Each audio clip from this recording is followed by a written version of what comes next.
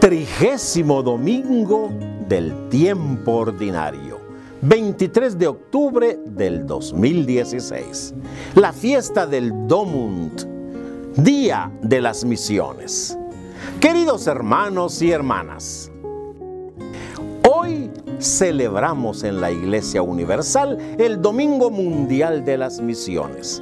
La misión tiene su origen en Dios es parte de la esencia misma de Dios, porque Dios es amor. Nos lo dice primera Juan 4:8.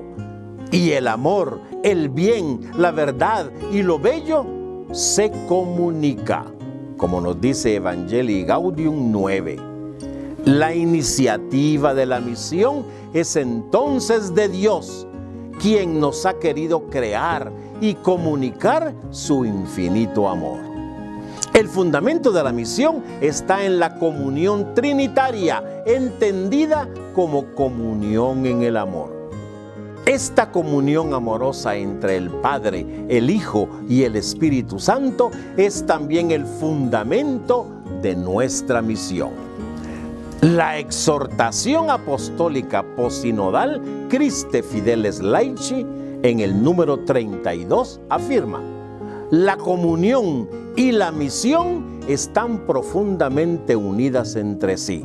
Se compenetran y se implican mutuamente, hasta tal punto que la comunión representa a la vez la fuente y el fruto de la misión.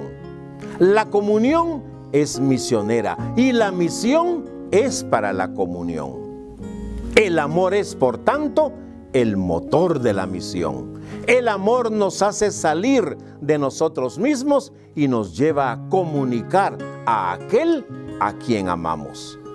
Con justa razón el Papa Francisco nos recuerda en el numeral 9 de la exhortación apostólica Evangelii Gaudium que el bien siempre tiende a comunicarse. De esta manera, el amor de Dios manifestado a todos en Jesucristo, se hace un amor misionero, un amor que comunica y se comunica por impulso del Espíritu Santo. La misión no es una opción para la iglesia, sino que ella es misionera por naturaleza. No existe una iglesia que hace misión, sino una misión que se realiza por medio de la iglesia. La iglesia existe para misionar. Vivimos el tiempo de la misión. Sin la misión, la iglesia pierde su sentido de ser y su identidad.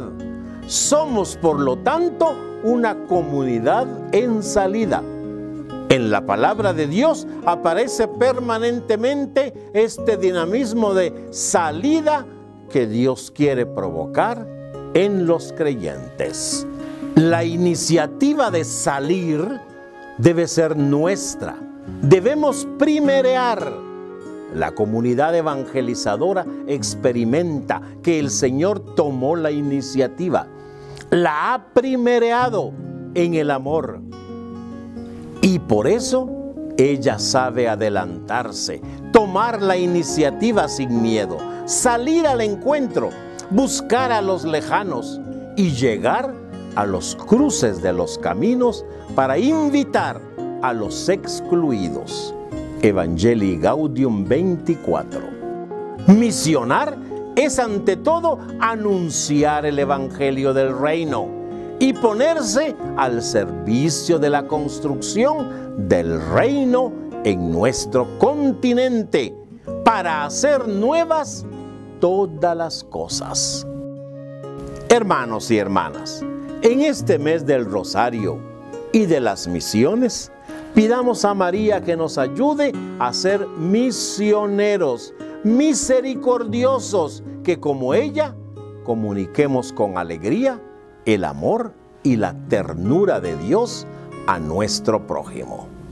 Con mi saludo atento y feliz domingo y feliz semana para ustedes.